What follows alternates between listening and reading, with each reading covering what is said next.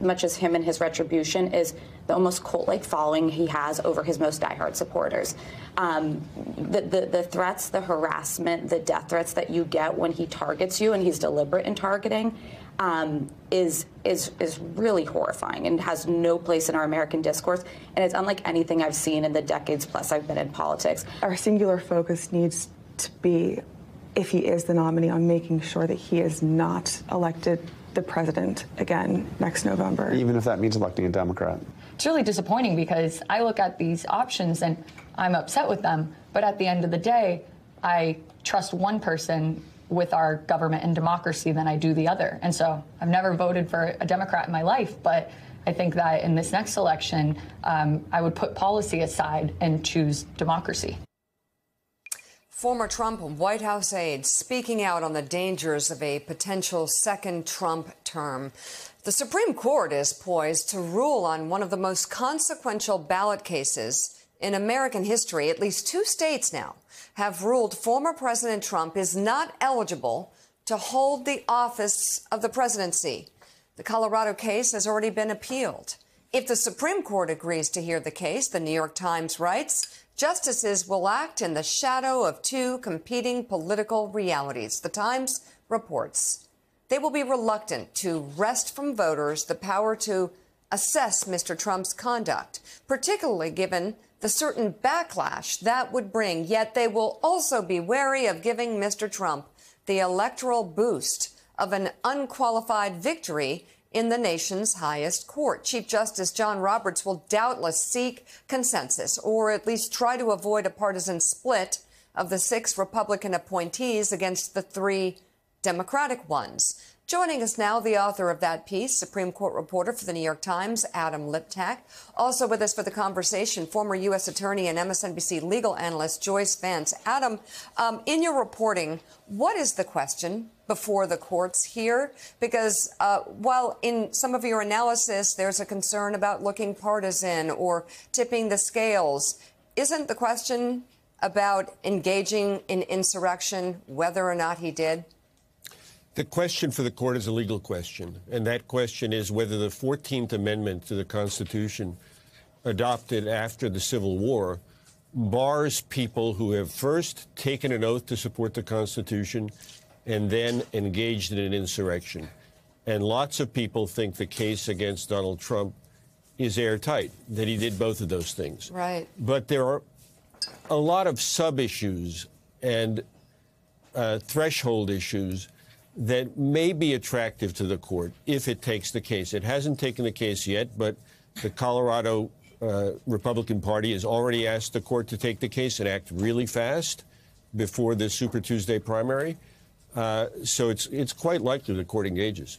Yeah, Joyce, I want to ask wow. you in a second about how quickly the Supreme Court needs to take this up, how quickly it, it will. But let's talk about its job in this case. Is it not the job of the Supreme Court here to interpret the Constitution?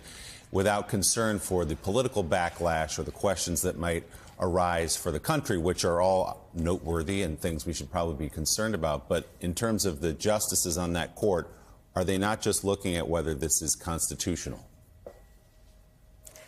That's the job. And as Adam points out, the issue in front of them is the pure legal issue of Trump's eligibility. The court isn't supposed to take into account any political considerations. But I think Adam's dead on the money when he talks about there being a lot of potential procedural off ramps that the court could take that would permit Trump to remain on the ballot. And I think in this situation, it's difficult to believe that they'll completely divorce themselves from the policy considerations. A lot of people are concerned about removing the choice from the hands of voters. But if we look at it strictly as a legal matter, there are certain eligibility criteria to be president. You have to be 35. You have to be a native born citizen. Those sorts of criteria are a little bit more black and white than this question of whether or not Trump engaged in insurrection. So that I suspect is the area that the court will focus on if they want to avoid disqualifying him based on the 14th Amendment. And Joyce, what about the speed? Some of these ballots are to be printed in a matter of days, actually. So how quickly can we expect the Supreme Court to move here? Right. So the Supreme Court could go ahead and accept the case based on the existing petition, They might decide that they want to wait for um, the former president to actually file the notice of appeal. Here, here's the bottom line, though. If Trump does not appeal this ruling and the court doesn't hear the appeal from the Colorado Republican Party, then he will not be on the ballot in that state. Maybe that's something he believes is survivable, but with so many other states in, in play, Maine is only one of them. There are another of other states looking at this. I think the court will have to go ahead and take up the issue. And with at least Maine and Colorado part of the Super Tuesday primary group, they need to do it quickly. Adam, uh, draw upon your experience covering the highest court to put this in some context for us. Seems like the most important election based case since Gore v. Bush in 2000. Frankly, one of the most important cases that it may ever take. Uh, and, and beyond that, tell us the role of, how you see Chief Justice Roberts approaching this and what sort of strategy or consensus building he might try to use. Well, the court, as you know, is embattled. It's going through a rough period. Uh, its public approval ratings are down. It's uh, been the subject of ethics scandals. And this is not a case the Chief Justice is eager to have, but it's probably unavoidable. This question needs a national solution. And his impulse is going to be to try to avoid doing damage to the legitimacy of the court, which a 6 3 Republican uh, Democrat split of the appointees on the court would give rise to. So I think he would look for consensus. He would look for something incremental. He would look for something technical. And there are, as we've been discussing, off ramps. There are ideas that Congress has to act first or that it's a political question.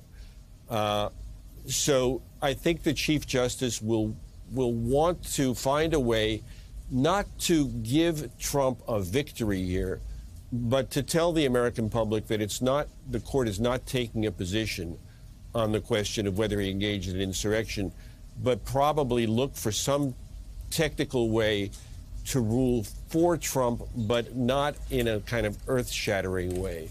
This is not a court that's been particularly sympathetic to Donald Trump. It's a conservative court, but it has rebuffed Trump and his allies when they tried to get the court to overturn the election.